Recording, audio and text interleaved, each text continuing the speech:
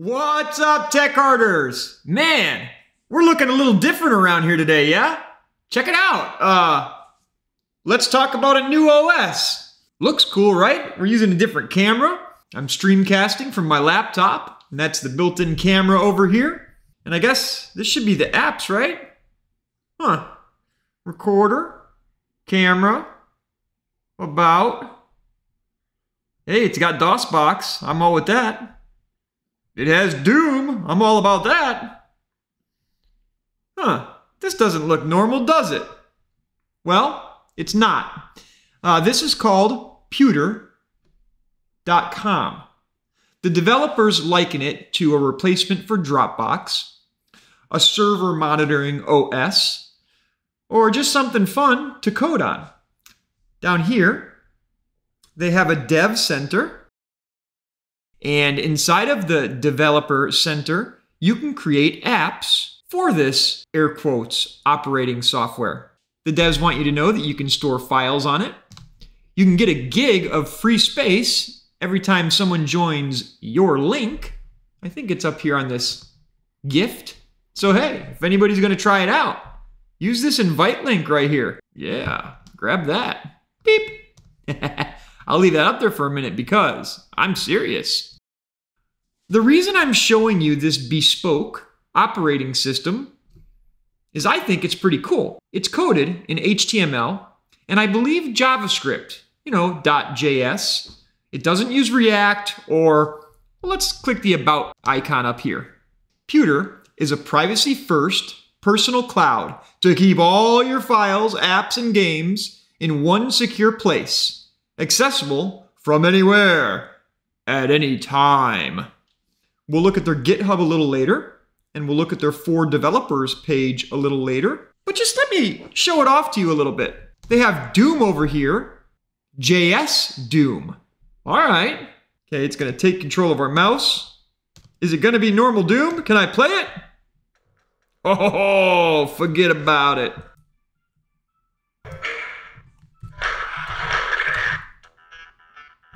Look at that. We got regular old Doom. Whoops. We're rocking and rolling.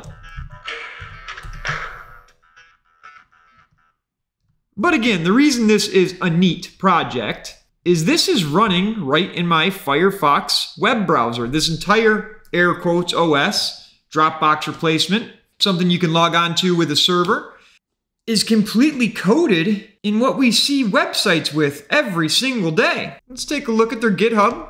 The Internet OS, free and open source.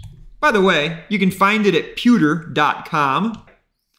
Puter is an advanced open source desktop environment in the browser, designed to be feature rich, exceptionally fast, and highly extensible. It can be used to build remote desktop environments or serve as an interface for cloud storage services, remote servers, web hosting platforms, and more. Like I said, you can develop on it. I'm going to click up here on another web page, puter.js. Puter.js is something that you can use to build powerful web apps without writing a single line of backend code. It provides full free access to various cloud and AI services. It brings cloud storage, key value store, GPT 3.5 Turbo, DALL-E, hosting, and more to your front end code. You can start coding with GPT 3.5 and DALL-E. How easy is that? If we scroll down a little bit, we'll see some examples. And again, this is just HTML code, really simple, and you talk to the puter.js backend. This is about cloud storage. Let's click on AI. So look at how easy this is to interact with GPT 3.5. You literally just call puter.ai and you say, what color was Napoleon's white horse? And then you get a GPT 3.5 response. Pretty stinking cool, man. They have other backends for hosting, cloud key value store, and cloud storage. But that's if you're going to develop for this front end over here. So anyway, I thought this was really cool. If we push Control U to see the source of the camera app right here, using that back end. Pretty cool, man. I'm going to close that down, go back over. I can push this full screen button just to make it look as OS-y as possible. And let's try a couple things out. You can already see the camera over here. It has a camera.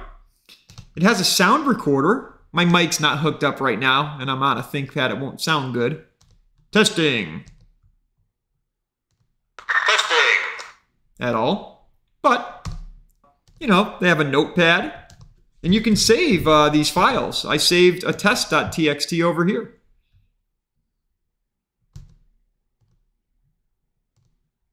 As stated, you can write code in puter.com. There's a terminal.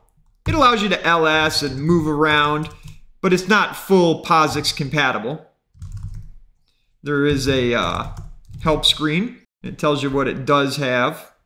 But again, this is all running right on the web, man. So it's not your full Linux, Unix, whatnot. Let's try a couple apps. These are some that I downloaded extra. Ooh, an interactive fluid simulation. Forget about. Ooh, let's throw a fireball. Come on. Go for it. Zamboni, baby. Woohoo! I mean, this is pretty crazy, right? This is all happening on the web. This is nothing that you downloaded to your computer. So, pretty sick, man. Do you like seeing bespoke stuff like this? Because I sure like looking at it. And hey, if you want to get down to work, you can open up your spreadsheet. Your boss would never know the difference. Do you see any uses for this? Would you pull this up on some server that you have running in the closet? You can take a picture or a video. So that pops out. That's kind of neat. I suppose. We could dig in a little more. On their GitHub and see about local development. You can download Puter to your system, run it with Docker, how to deploy Puter in production so you can run it on your servers. Why isn't Puter built with React, Angular, Vue, etc.? For performance reasons. Puter is built with vanilla JavaScript and jQuery. That was the other one I wasn't remembering. Additionally, we'd like to avoid complex abstractions and to remain in control of the entire stack. I guess so. It's also partly inspired by one of our favorite projects that are built with frameworks VS Code, Photopea, and OnlyOffice. Puter interacts directly with the DOM, and jQuery provides an elegant yet powerful API to manipulate the DOM, handle events, and much more. It's also fast and battle tested.